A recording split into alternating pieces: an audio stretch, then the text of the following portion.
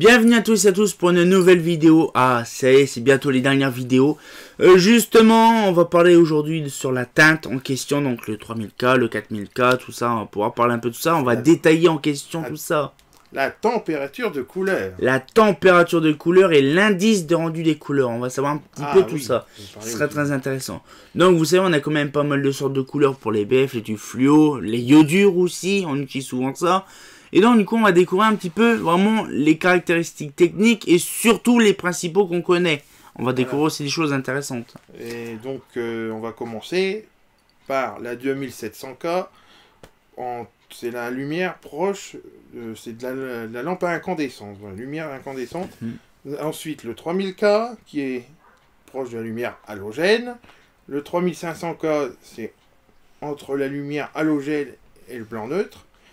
La 4000K, Blanc neutre. Qu'est-ce qui utilise le plus? Le blanc neutre. La 5000K, qui est pas très utilisée ici, juste en photographie, apparemment. Et en, en musée. Proche de la lumière du soleil. C'est marqué. Par contre, mauvais IRC. En 5000K.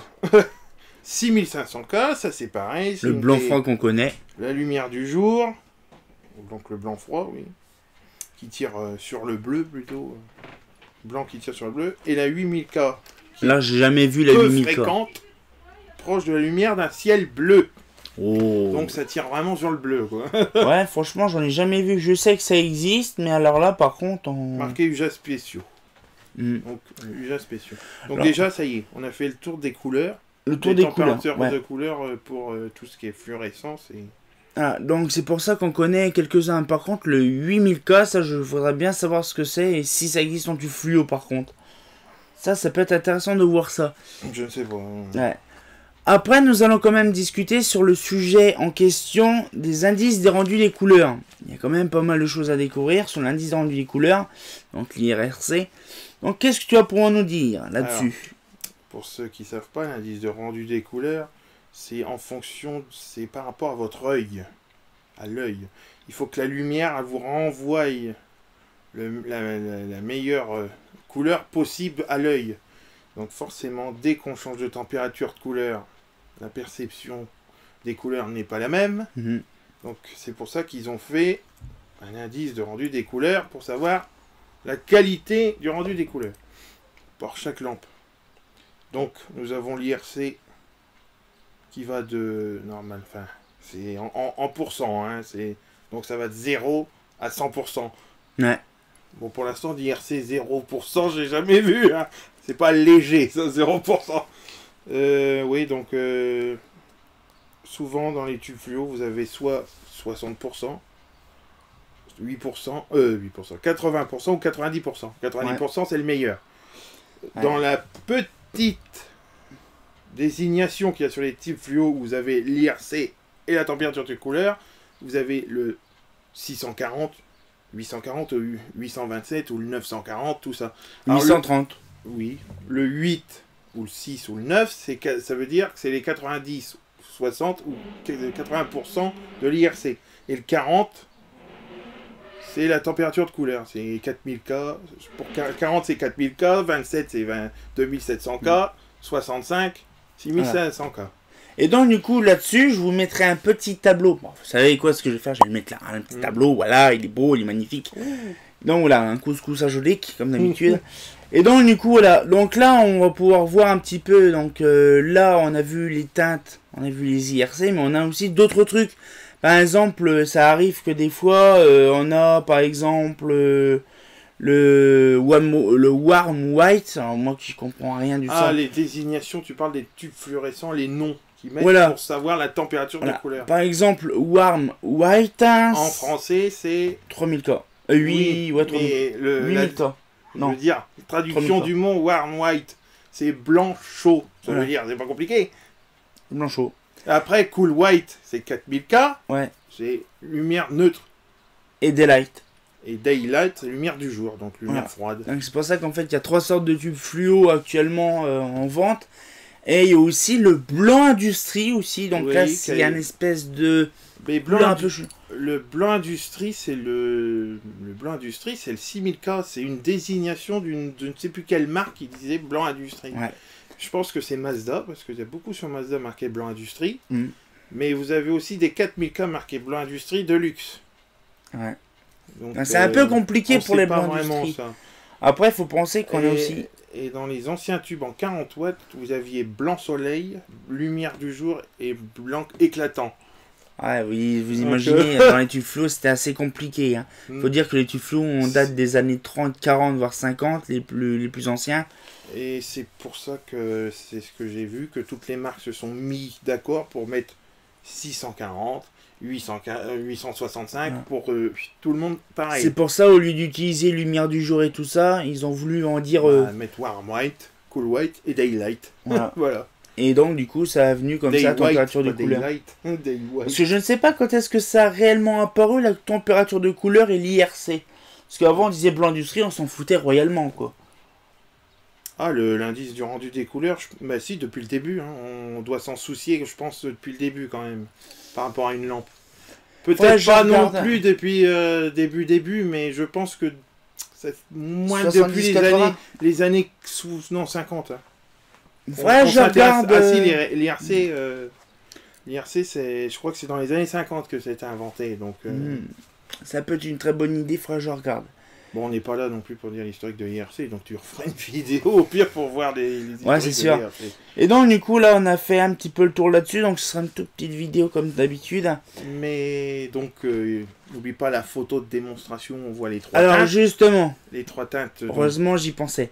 la- Les petites photos qu'on va voir donc là en bas, hein, je vais pas mettre en gros plan, ça sert à rien. En bas, on voit trois tubes fluo en question, donc on voit le Blanche. 3000K, le 4000K et le 6005. On le voit en bas. Donc là, ça fait bien trois teintes différentes. Et puis pour le plaisir, on s'amusait à faire une petite photo euh, d'une lampe spécifique en question sur les teintes euh, spéciales, justement sur les lampes de boucherie.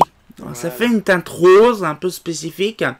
Alors apparemment ça servirait à garder la couleur rouge de la viande.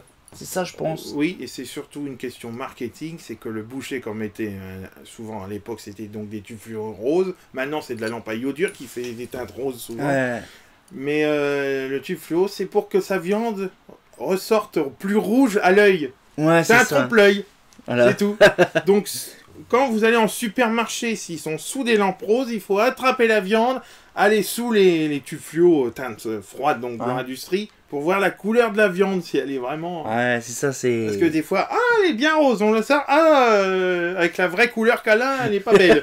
Pas belle. c'est ça qui est un peu compliqué. Oui, c'est du trompe-l'œil, du Ouais. marketing. Donc la petite photo, bien sûr, en bas, voilà. Ah, le donc, voilà. euh, Après, on peut faire voir le tube. hein. Bon, ça, c'est un tube 40 watts, bien sûr. un tube de Donc, qualité. Bien l'ancien, les années 70. Et on le voit très bien, allez.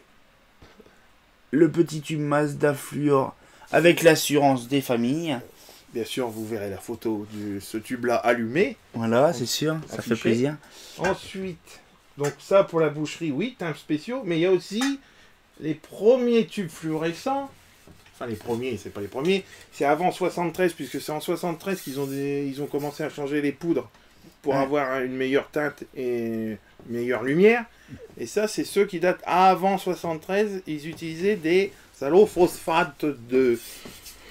euh, J'ai dit de strontium et de bismuth. Voilà. Allophosphate de strontium et du bismuth. Ouais. C'est assez complexe. hein. Et c'est pareil, j'avais parlé des anciennes euh, poudres fluorescentes sur la BF, mais pas sur le tube fluo, j'ai pas non plus. Bah voilà. Ouais, c'est ça, voilà. Après la Seconde Guerre mondiale, donc dans les années 50, on a utilisé du des allophosphates de strontium et de bismuth qu'il y a dans ces tubes Philips. Voilà. Donc vous verrez aussi la photo de ces, ces tubes-là allumés. Bon après, je sais pas si en photo on voit la- vraiment la nuance, où le Parce tube que- est peu lumineux Ouais, par rapport à un tube. On fera les deux, on mettra un, un d'aujourd'hui et celui-là à côté. ouais on, on, verra, le, On verra le truc. que le, le tube est peu lumineux par rapport à Ouais. l'autre. Et que, après, je sais pas si on verra la nuance, que ça fait un blanc légèrement rose comme une BF. Mm. Et oui, et puis euh, oui, franchement, une lumière. Et donc, c'est après, euh, dans les années, à partir de 73, qu'ils ont fait des, des mélanges de poudre ter- ternaire de silicate et d'alu- et d'aluminate. Voilà. C'est assez Et compliqué. ils utilisaient, ils- on utilise toujours des allophosphates sur des marques euh, mauvaise qualité. Les marques top budget.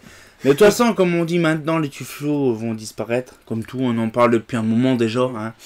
Donc euh, voilà, donc euh, c'est les, vraiment les derniers instants des tuflos. Donc c'est pour ça que les tuflos maintenant sont un peu moins, moins, moins de qualité, je pense, parce que voilà, c'est plus, ça veut dire que c'est des poudrages qui ont été recyclés depuis longtemps. Donc du coup, les poudrages sont un petit peu Bah oui, fatigués. parce que tu as vu ce qu'on a entendu dire, c'est que la plupart maintenant, même Philips ou Osram, utilisent des poudres recyclées, donc récupérer de vieux tubes fluorescents. Ils- remettent de la poudre neuve avec, Mm. pour dire de garder. Il doit y avoir des gammes avec de la poudre neuve et des gammes avec de la poudre beaucoup Mm. moins. Enfin bon, bref. C'est pour ça que les poudres de BF sont différentes en fait, parce que là, euh, dans, les so- dans les ballons poudrés, par exemple dans la BF ou dans les sodiums, euh, ben, par exemple pour la sodium, les ballons poudrés sodium c'est du pyrophosphate, mais après on a du vanadate d'yttrium euh, et tout le bazar pour les BF, et c'est vrai qu'on n'a pas de tube fluo avec du vanadate d'yttrium. Ça aurait pu le faire, mais j'aurais bien voulu voir la- la- le truc du tube en fait. Après, c'est ce que je t'ai dit. Dans le tube fluo, c'est un plasma de mercure, la lumière. Là, le petit lumière bleutée qu'on voit, bon, on le voit que dans les lumières euh, germicides, euh, oui, germicides. Mais Ouais. si vous avez un tube fluo où le poudrage n'est pas jusqu'au bout, on peut voir un petit peu la lumière bleue. Faut mieux pas la regarder normalement, mais bon. De toute façon, ça sera une euh, prochaine vidéo dans, dans à peu près bah, après les vacances. De toute façon, c'est prévu. Il y aura euh, justement, euh, donc à peu près vers septembre-octobre, il y aura, donc tu le sauras maintenant, c'est qu'il y aura des vidéos à peu près thématiques. Donc ça sera pareil le 27, ça sera sur la lumière noire, ça sera sur l'infrarouge, ça sera sur l'ultraviolette, dans tout ce qui est ultraviolet. Germicide aussi qu'il y aura, ça Qui- peut être intéressant. ultraviolet, le germicide. De Ultraviolet, mais du nom de bien spécifique. Il faut pas confondre trou du, trou du cuir saucisson. façon, Il y a UVA, UVB, UVC. Voilà. UVC, c'est germicide. UVA, c'est pour le bronzage. Et UVB, je sais plus ce que c'est trop un peu. Il y a aussi un peu de l'UVB aussi pour le bronzage. justement, c'est l'UVA pour les insectes, l'UVB pour le bronzage Oh, l'UVC pour le Je germicide. me suis gouré. tellement qu'il y en a des UV. Et donc, du coup, là, c'est pareil. On va vérifier tout ça petit à petit. Parce qu'il faut que je fasse des recherches. Il faut que je trouve les tubes et compagnie qui vont dessus. Par exemple, le germicide, c'est facile. J'ai un tube germicide. Ça, ça va être rapide à vous Mhm. montrer. Je l'allumerai pas. Je prendrai ma boule plaça pour vous montrer. Ça sera mieux. Le tube UVB, ça, je peux m'en procurer un pour le bronzage. Et le UVA, bon, ça, c'est pareil. Ça va se trouver facilement. euh, pour Euh, insectes, ça va être facile à trouver aussi. Moi, j'ai ça, voilà. à la belle, mais bon. Et donc du coup, ça, tout ce qui est UV, infrarouge, lumière noire, parce que le lumière noire, c'est pareil, j'ai prévu des tas de choses dessus, ça va être magnifique. Euh, Il y a aussi, alors là par contre, je le dis pas, parce que ça, franchement, ça vaudra le coup. Et encore en plus, c'est très rare à trouver, ce que, ce que je vais récupérer là, euh, après l'été, là, c'est vraiment... Je sais pas, je peux pas, je vous l'expliquer parce que sinon c'est spoilé. Mais on sortira un courant là-dessus. Donc euh, voilà, on a fait une petite vidéo toute sympatoche sur les teintes, les IRC. Donc on a peu, à peu près tout ça. Donc voilà. Ouais, Et- on va pas dire. euh, Non plus, hein, des tonnes, c'est voilà. C'est hein. c'est au plus simple. On Bah, essaye de faire au plus simple, au top budget quoi. Mais surtout que tout le monde comprenne. Voilà. Parce que sinon, si on Parce que va si dans on les part dans détails. les termes ter- techniques, comme euh, vous avez aussi l'indice des rouges. Alors là, de rouge, dans- sur, ouais, là, c'est- sur les cartons, il peut y avoir le- l'indice des rouges. Et c'est le RA. Oui, alors ça par contre, ouais, c'est là par contre, il faut y aller dans, dans Il le n'y a détail. professionnels qui utilisent l'indice du rouge. Donc, euh, Voilà, bon, ben j'espère que la petite vidéo vous a plu. On se retient encore pour une nouvelle vidéo. Et comme d'habitude, bah, c'est pas faux.